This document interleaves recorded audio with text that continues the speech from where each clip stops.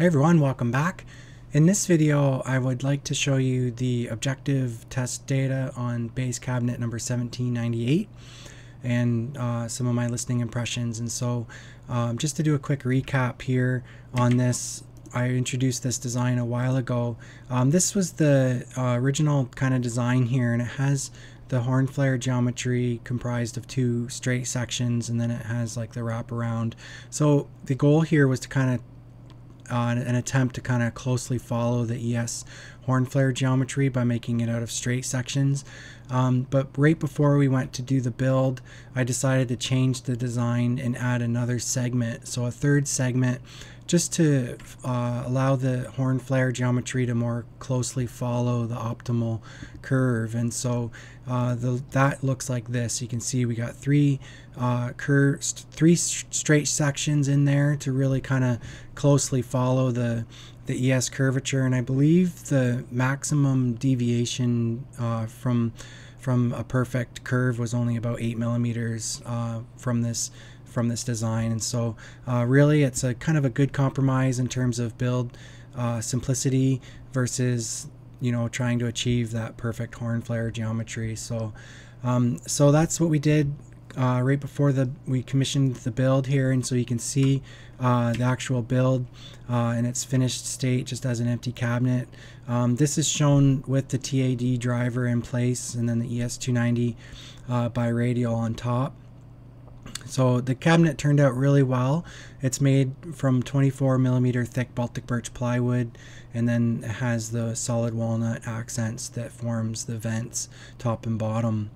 So you can see here the driver kind of hiding in behind. So the specific model used is the TAD TL1601B and we're using a two to one compression ratio in the throat. And so what that means is that the throat area is only 50% of the SD of the driver, SD being the surface area, the radiating surface area of the driver. And so um, based on simulations, that's kind of a general area that you want to be with the two to one compression ratio to provide the optimal uh, sensitivity gain uh, through its operating bandwidth, which is um, around 100 hertz up to around uh, 600 hertz. And so um, just, yeah, just do good segue into uh, what we discussed in the original post uh, with that is show you uh, here from previous designs.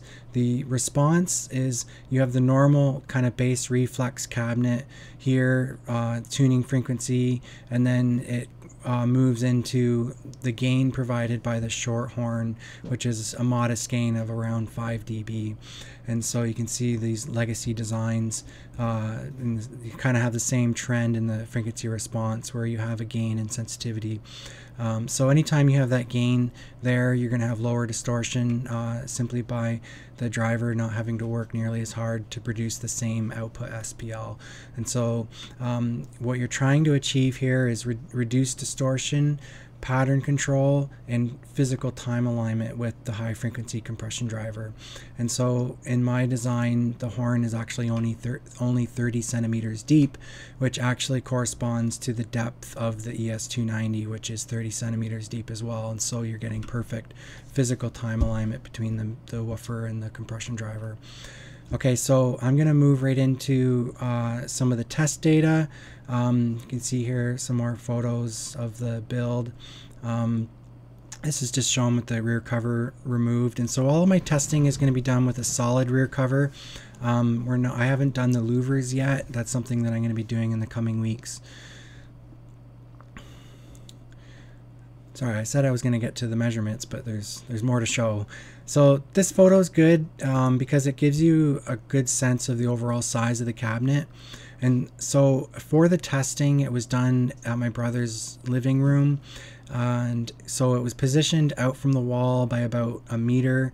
And so it, the speaker was positioned to provide uh, a good sound stage and so the reason I bring that up is uh, simply because we're not trying to corner place the cabinet to provide the target frequency response we're actually um, getting the target frequency response with the cabinet away from the walls and we're not relying on the room boundary reinforcement to provide that bass response and so just to make that clear Um, so we'll start with the impedance curve. You can see here the tuning frequency is at 32 hertz, which uh, was the target for this design.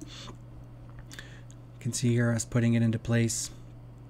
Actually, that's my brother reaching in behind. Um, we were adjusting the uh, polyfill inside the cabinet, trying to optimize that. So now here's with my voltmeter, just checking the sensitivity uh, 2.83 volts, which is uh, which corresponds to a one watt input power if you're using an 8 ohm driver. And my decibel meter here, you can see um, with a 100 hertz test tone signal that the sensitivity uh, in room is 101.5. So that's really good. 101.5. So um, that's uh, really good for the low power tube amplifier enthusiasts. So here's the resulting frequency response. Um, you can see here the tuning frequency coming in a little bit. Um, probably we could go a little lower with that and kind of smooth that out. And then you can see here starting at around 100 hertz we have a, a rise in the response uh, due to the, the effects of the horn. And then you have the breakup uh, in the diaphragm from the, the woofer here at around 1800 hertz. And so if we um, just apply some smoothing to those results, we can kind of get a general sense of uh, the trend on the response. Now, this is ungated um, in a living room environment, so obviously you're going to get some room reflections, introducing some peaks and dips in the response. So just uh, keep that in mind. So I implemented a simple low pass filter using a 4 millihenry inductor and then you can see the effect with the green line here on the response. Now after this I did try a 7.5 millihenry inductor and it even further uh, flattened the response to the point where you didn't have this uh, little bump here at 100 hertz it was pretty much linear uh, through its pass band and then it had a steeper uh, uh, slope there at around uh, 500 hertz. Um, so I conducted distortion at 85 and 95 dB, starting with harmonic, and so um, the second harmonic is only 0.048, uh, extremely, extremely low, the lowest that I've measured uh, from any bass solution. So um, I've shown the uh, the graph with the vertical scale either in percent here or uh, the same test but shown with the vertical scale in dB. Just for reference you can see there that the second harmonic is a full 65 dB down. And um, you can see what the third and fourth harmonics are. Fourth harmonic is 81 dB down, so extremely low. Um, even if we increase the test SPL to 95 dB at one meter, we can see that harmonic remains low at only uh, quarter percent at a 100 hertz. And so extremely low numbers here, uh, certainly below the threshold of audibility uh, on the harmonic side. Um, so if we switch over to intermodulation, um, if we're comparing the uh, peaks of the fundamental test tones here against the artifacts down below this black grass area, if we compare those, uh, that difference there, we're at uh, 60 dB on the intermodulation distortion with an 85 dB test signal.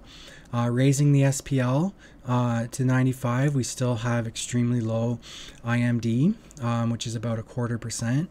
So these numbers are extremely low for bass. Um, so uh, extremely happy to see this happening. And even uh, into the 500 hertz region, we don't see um, distortion rising due to modulation. It's it still remains low. Um, I suspect that that's uh, uh, factor of two things. First, the horn, but also I think the TAD woofer is really showing off here as well on with the the uh, extremely low distortion, even into the mid bass and, and mid range. So. Now, I, I really was keen on uh, getting the off-axis polar map on this bass cabinet simply because we want to see if the large horn lens is providing pattern control and if it is, how low is it actually going down to? So are we getting pattern control at 300 hertz, 200 hertz? Um, so I had to move the speaker cabinet to my father's uh, farm shop. So you can see it's quite dirty, uh, but I was still able to get uh, measurements in this larger space and that wasn't going to be affected by room boundaries and that. So now I integrated it with the ES290 using a passive crossover at 500 hertz. and so you can see uh, the resulting polar map here as a system okay so this is uh, the ES290 coming in at 500 hertz and so what you're seeing here is at around 120 hertz, the large horn or waveguide, if you want to call it that, is providing pattern control. Um, it's really even and consistent and uh, controlled down to around 120 hertz, which is really nice to see. Um, that's going to translate into improved clarity at the listening position uh, because it's not going to be activating those early sidewall reflections in your room and, um, you know, uh, you're going to get a lot more direct sound, which um, based on my experience um, with horns, larger is better. You're getting more pattern control, and so that's the goal here is getting that large scale horn sound. And so um, looking at the overlay between the low and the high frequency, you can see here. Um, and then I moved the microphone four meters away with this black trace to get an overall uh, response. And I've smoothed it just so you get a general idea. Um, it's very difficult to, to get you know gated measurements when we're getting down into the bass so um, you're going to see uh, some some irregularities there so um, one day, hopefully, I'll have a anechoic chamber. But uh, the, the compression driver that was used for this test was the Celestion AXI 2050, uh, which I'll be doing a future video on. So, uh, concluding remarks on this. So, um, we are checking off all the boxes on this design for what our goal our goals were with the low bass extension, high sensitivity. Um, we're getting extension up to around the 1 kilohertz region. Uh, we do see a mechanical breakup at around 1.8 kilohertz, in which case we'd want to have a steep filter at around 800 hertz. Um, what I did is I went with a 500 hertz first order, and that was acceptable. Um, this is shown actually as a third order, um, but subsequent to this, I actually changed it to just a first order, and I did prefer uh, the sound uh, with the first order on both the low and high frequency, and it had uh, textbook perfect step response, um, and just had an uh, excellent coherency that would be on par with um, you know the same coherency that you would get with uh, single four inch drivers or coaxial drivers. So um, really good results here. Um, the sound quality in the bass was excellent. Um, great clarity overall. I mean obviously um, you can you can see there from the from the test data. Um, so we uh, built two pairs of these cabinets one pair was going to a customer and then the other uh, pair isn't really spoken for. This is the pair that's uh, the second pair that we built and it's been sprayed with some poly and a satin finish, which I think looks really nice. Um, so yeah, uh, the TAD drivers are available. Um, they're a few weeks lead time. Uh, they're made to order in Japan. It's nice that they are still available. Uh, they're really nice drivers, uh, built really well, and I think um, they do have kind of like a warm character to the sound that is not compressed in any way. So it's like you get the best of both worlds. You got extreme dynamics, but also this kind of fluid, warm, rich sound uh, from the driver. Um, so it's it's it's really nice. So it's definitely um, because it's commercially available. I think it will be my go-to driver for the more upscale uh, systems. Um, see here. Oh, I guess my internet died there, but. Um, I was going to show you the overall dimensions. So it's about 48 uh, inches wide um, by 22 inches deep. So just for reference there, if you're looking at your space and seeing if you can accommodate something like this. But uh, so there you have it. Uh, what's not to like on bass Cabinet 1798. So that's it. So take care and have a great day.